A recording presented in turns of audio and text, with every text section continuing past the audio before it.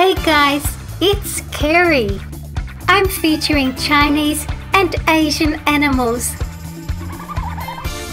Giant panda inhabits the bamboo forest in the mountains of central China. Pandas can easily stand on their hind legs and are commonly observed somersaulting, rolling, and dust bathing. They have an enlarged wrist bone that functions somewhat like a thumb, enabling pandas to handle food with considerable dexterity. The giant panda's solitary nature relies on its pronounced sense of smell. A large scent gland located just below the tail and surrounding the anus is used to leave olfactory messages for other pandas. Red panda are an ancient carnivore species and are probably most closely related to skunks, raccoons and weasels. Red pandas live in the eastern Himalayas and southwestern China. They are highly territorial and live a solitary existence except during the mating season. They are excellent tree climbers and are able to descend trees head first. They have an extended wrist bone much like the pandas which helps them climb trees and eat bamboo. Please subscribe and turn on notifications. Pallas cat, elk or moose. China has a great variety of true deer and its close kin, the musk deer. The largest deer is the elk, which is found in the Greater and Lesser Khingan ranges of the northeast. The moose stands 2 meters tall and weighs as much as 700 kilograms. Roe deer Sambar deer, Père David's deer. It is unique. It has the hooves of an ox, the antlers of a deer, neck of a camel, and tail of a donkey. It is native to the river valleys of China. Their body length is up to 2.2 meters and 1.2 meters at the shoulder. Yak, as the rut approaches, the males become very aggressive and regularly fight amongst each other to establish dominance and mating rights. They will charge at each other with their heads lowered and spar with their horns. Both sexes have long shaggy hair with a dense woolly undercoat over the chest, flanks and thighs to insulate them from the cold snub-nosed monkey? They're named because they only have nostrils and virtually no nose. Four of the five species in the world found in China. It is diurnal and largely arboreal, spending most of its time in the canopy. Gibbon, the only ape that is native to China. They are tree dwellers using their long arms to swing from branch to branch. Their primary mode of locomotion is brachiation, which involves swinging from branch to branch for distances up to 15 meters at speeds as much as 55 kilometers per hour. They can also make leaps up to 8 meters. A novel way to have a drink.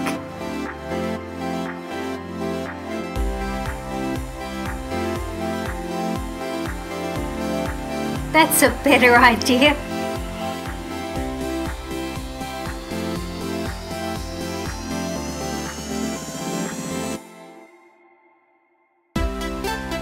Amur leopard is native to northern China. Its thick fur is pale cream colored, particularly in winter.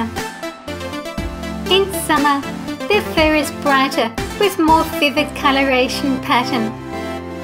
Males grow to 136 centimeters with a 90 centimeter tail and a shoulder height of 78 centimeters. Clouded leopard, snow leopard, spotted seal. It is the only seal species that breeds in China. It is a true seal, which means it doesn't have ears and it can't use its flippers to walk.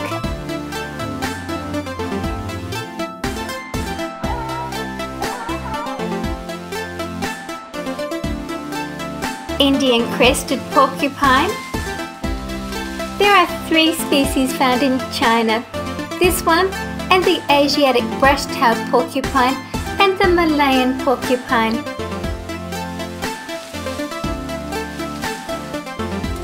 Hedgehog. They are easily recognized by their spines, which are hollow hairs made stiff with keratin. Their spines are not poisonous or barbed, and unlike the quills of a porcupine, do not easily detach from their bodies. The hedgehog's back contains two large muscles that control the position of the quills. All species of hedgehogs can roll into a tight ball in self-defense, causing all of the spines to point outwards. This protects the tucked in face, feet and belly, which are not quilled. Siberian tiger. Prior to estrus beginning, the female will begin advertising her readiness to mate by marking her range with distinctive smelling urine.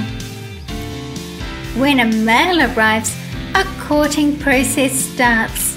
The male initiates various howls and whines to which she responds accordingly. The male will smell her genital area and they will both lick and purr while rubbing their bodies against each other. The male mounts her from behind and takes hold of the loose skin folds on the neck. This is to keep her immobilized. As he dismounts, the female responds by growling and jumping up. She may swipe the male with her paw, slap or box at the male, inflicting scratches. Copulations are frequent to stimulate ovulation.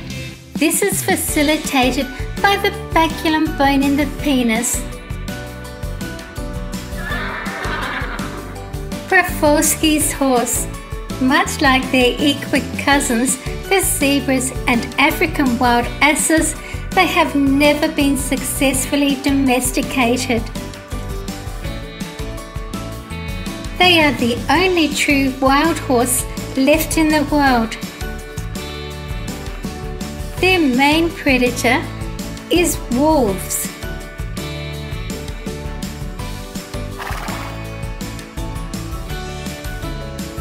Please stay and watch another video with me.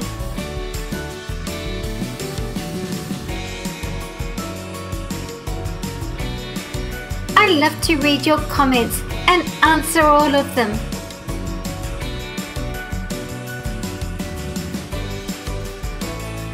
Thank you for watching my video. See you again soon.